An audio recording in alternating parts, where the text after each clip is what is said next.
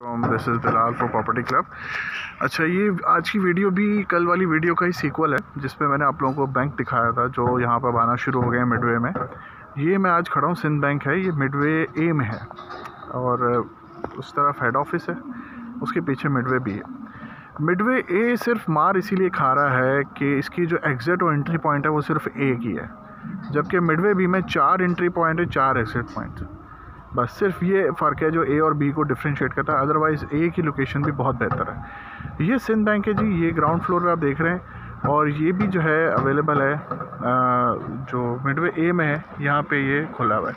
मैं दूसरा एक और बैंक है अस्करी बैंक उस तरफ़ जा रहा हूँ, वो आपको दिखाता हूँ अच्छा जी, ये एक और बैंक है जी अस्करी बैंक ये भी मिडवे में है और लोकेशन आप देख सकते हैं, बिल्कुल मलिक स्क्वायर के सामने वाली लोकेशन है। ठीक है। अच्छा बहुत सारे क्लाइंट्स पूछ रहे थे कि जी ये कितना, ये जो ग्राउंड फ्लोर है, ये थाउज़ेंड प्लस स्क्वायर फिट है ये ऑफ़िस ठीक है?